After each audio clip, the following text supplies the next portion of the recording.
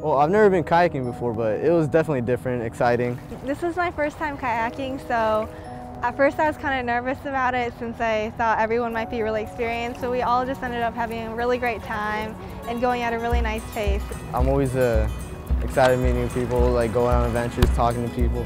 In the lily pads we got a little stuck and I was like, oh my gosh, am I going to get out? But we got out, so that was really satisfying. Seeing the Space Needle. Seeing the amazing view of the waterfront. And overall, it was just really cool. I would have never done it if I hadn't come with Husky Adventures.